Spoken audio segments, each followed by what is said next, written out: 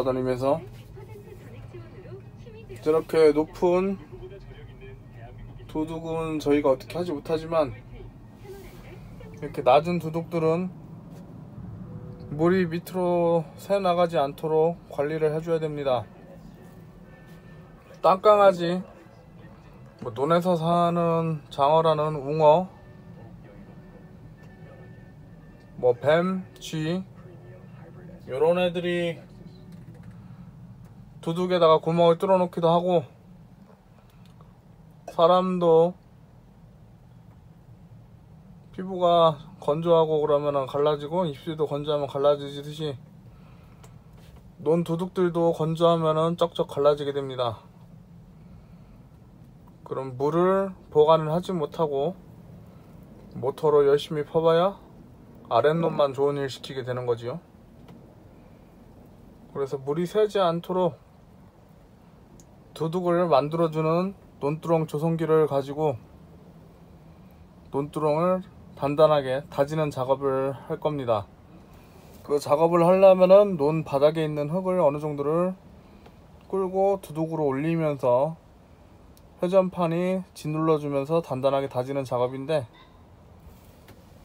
지금 보시는 것처럼 이쪽을 보시면 아시겠지만 전에 작업을 해놓은 곳인데 두둑과 흙이 한 뼘 이상 이렇게 벌어지게 되는데 논두렁 조성을 작업을 할 때에는 저 흙을 끌어다가 올리기 때문에 가까이 붙여주는 게 좋습니다. 뭐 인기 방송이라 이거 읽히는 것도 어렵네 이거 여기 사연 읽히는 사람들 다 개그맨들 아니야?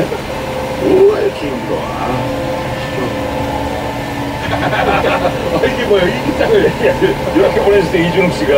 기장을. 어 혼잣말을. 아니 이게 내 거를 이런 걸 또 찾아내는 걸 좋아하고이 더 정부는 빨리빨리 빨리빨리 빨리빨리 대행절과 함께합니다.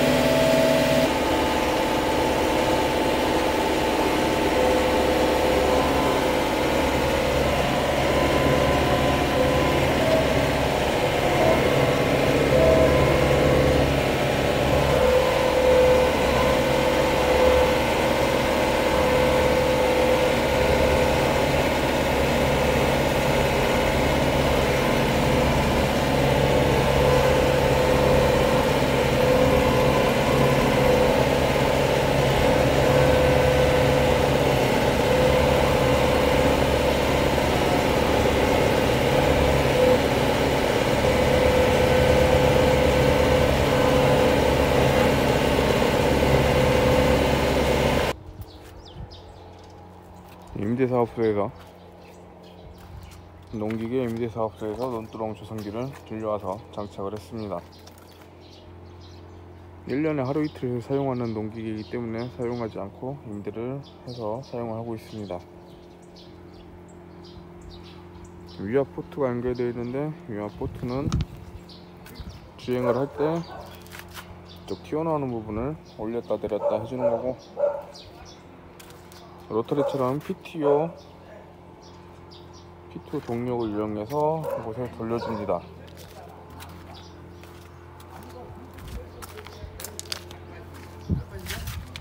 옆에 있는 앞에 있는 회전날이 흙을 눈바닥에 있는 흙을 옆으로 밀어주면은 저 뒤에 있는 롤러판이 논두렁을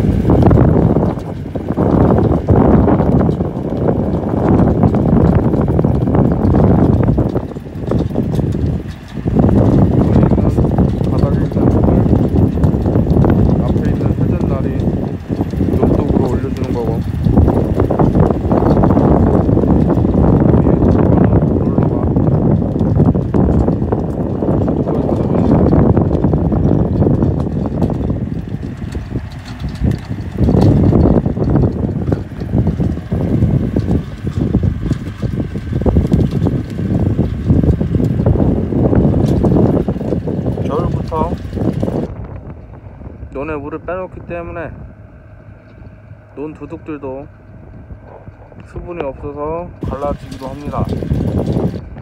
뿐만이 아니라 미- 물기가 없다 그러면은 흙을 올려도 이렇게 매끈하게 나오지 않고 갈라진 흙들이 나옵니다. 그러면은 기계도 마른 흙을 올려 가지고 하다 보니까 무리도 많이 가고 날도 금방 닳고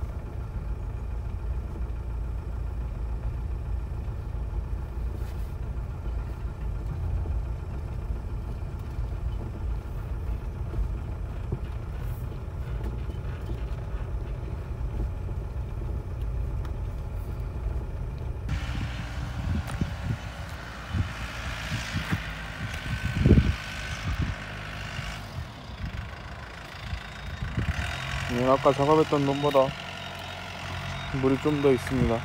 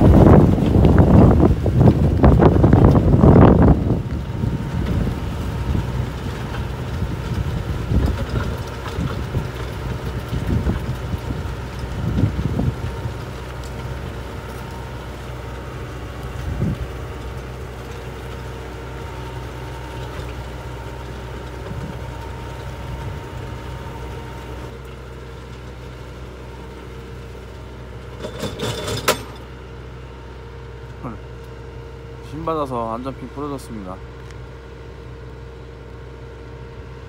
기계가 고장나지 않도록 힘 받으면 핀이 부러지게 되어 있습니다. 잠깐만 다른 거 부러졌어?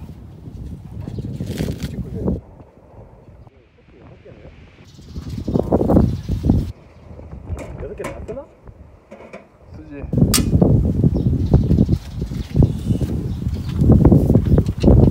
착살나고 씨.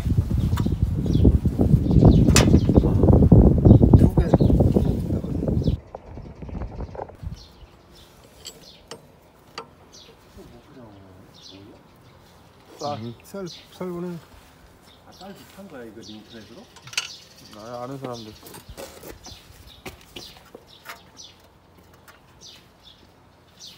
두개다 나오네.